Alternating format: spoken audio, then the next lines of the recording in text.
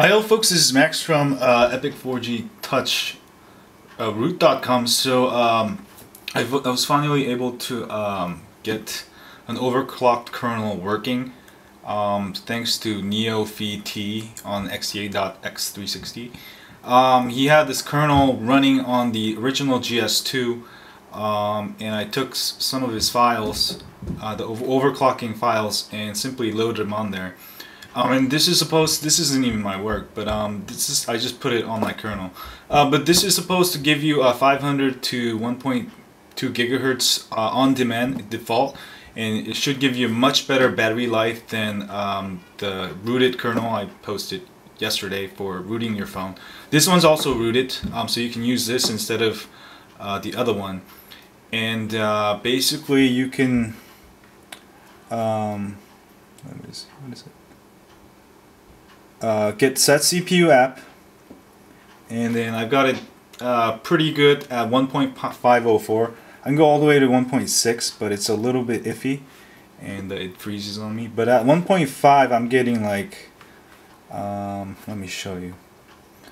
I've got 4,000 last time so it kind of brings up your phone makes it super fast. Um, it'll be working on more stuff. But this is to save your battery. Uh, I know a lot of you have been complaining that the uh, the other kernel was draining a lot of battery. Um, so try it out for those of you brave enough um, and let me know. And I know some of you bricked your phone, but um, that happens if you if your Odin doesn't complete and you take the battery out, that'll brick it. Um, that's what happened to me last time, I think, too. So when you use Odin, just make sure it's finished um, and use a faster computer that has a good, you know, so I got 3927. Um, not too bad at 1.5. Uh, let's do Linpack. Run multi-thread. Ah! Run multi-thread.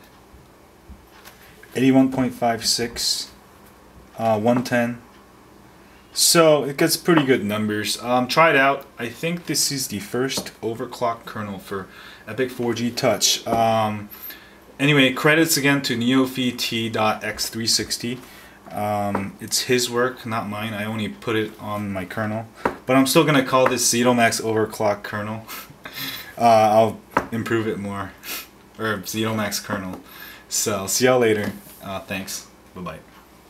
Oh yeah, to flash, just use Odin and flash the tar file. Um, just like uh, um, rooting. It's the same thing. It's also rooted. You can just flash this instead of that other file. So see you later.